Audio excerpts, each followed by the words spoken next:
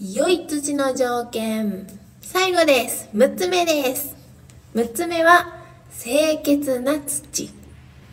うん清潔な土です。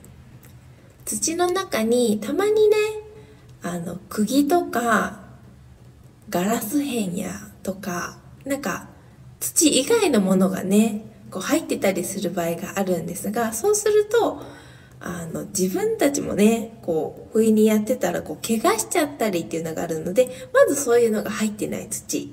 あとは、病原菌や、その害虫とかの、まあ、卵だったり、雑草の種っていうのが入っていない。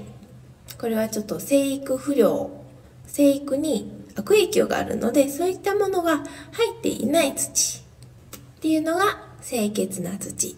良い土の条件。簡単にですが、6つ目でした。